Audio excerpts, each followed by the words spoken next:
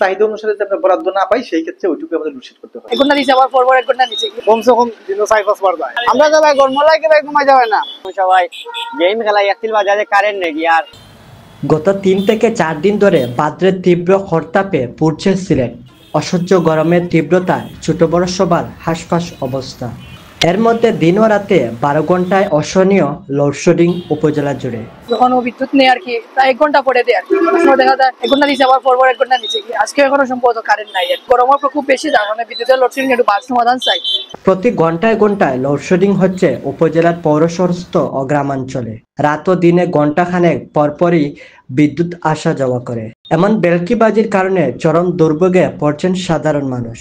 কমসে কম দিন চাই পাঁচবার যায়। আর গরমের কারণে তো আর গরম পাওয়া যায় না বারা বইয়ে শান্তি মিলে না। রাইতে মেঘ, সকালে মেঘ কারণে আর গরম আমরা তো গরম লাগে ভাই যাবে না।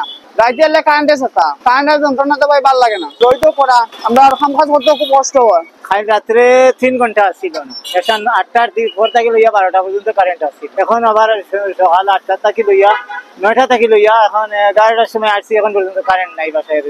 সবাই গেম খেলা একটিল বাজারে কারেন্ট নেই আর। তো ভালো লাগে না বাড়ি কোথা দেওয়ার পথে কাটাওয়া লাগে। খুব বেশি বেমার, সমস্যা করে মাথা ব্যথা ধরিলে কারেন্ট এদিকে সবচেয়ে বেশি প্রভাব পড়ছে মার্কেট শপিং মহলগুলিতে। এভাবে লোডশেডিং অব্যাহত থাকলে লোকসানের আশঙ্কা করছেন ব্যবসায়ীরা। তো বাজারে তো গরমে এমনি মানুষ আইরা না এর মধ্যে কারেন্ট না তাহলে কাম একটা রিসিভ করলে আমরা কামটা করতে পারি না কোনো কাজ কমপ্লিট ঠিক মতো করিয়ে পারি না তো এটা খুব একটা চাপের মাঝে আছি।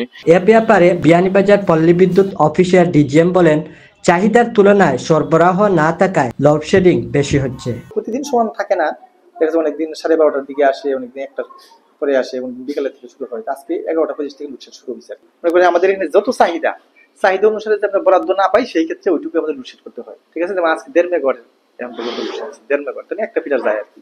একটা মিটার জানে যদি দেড় মেঘরের থাকে, তাইলে আমরা ওইটা বন্ধ করে দিই। বা এক মেঘর হলে এখানে তো সব মিটার তো সমান না। ঠিক আছে? যে দুই মেগাওয়াট হয় সেক্ষেত্রে হয়তো বিলোকে একটু বেশি নেই। বেনিবাজার উপজেলা মোট চাহিদা আমাদের চব্বিশ মেগাওয়াট। সারা এখানে চারটা সাবস্টেশন আছে। চারটা সাবস্টেশনে চল্লিশ, চব্বিশ মেগাওয়াট আমাদের ডিমান্ড চাহিদা। এর ভিতরে আমরা কোনোদিন পিক আওয়ারে বাইশ পাই কোনোদিন আঠারো পাই কোনোদিন বিশ পাই, এক একদিন এক এক রকম সমান না। আবার দেখা যায় অনেকদিন এটা সর্বোচ্চ, চব্বিশ কিন্তু সবসময় আমার ফুল চাহিদা থাকে না। মানে যেদিন ধরেন বৃষ্টি হইল ওই দিন দেখল যে আমার আঠারো হইলেই সব হয়ে যায়। মানুষের ডিমান্ড কম বুঝেন নাই? ডিমান্ডটা কিন্তু ফিক্সড থাকে না। মানে সর্বোচ্চ চব্বিশ উঠে। আবার যদি দীর্ঘ সময় বন্ধ থাকে, তখন সব পঁচিশ যাইতে পারে। তবে দেখছি চব্বিশ হইলে আমার কভার হয়ে যায়। কয়েকদিনে বিদ্যুতের লোডশেডিংয়ে অতিষ্ঠ হয়ে উঠছেন বিয়ানীবাজারের বাসিন্দারা।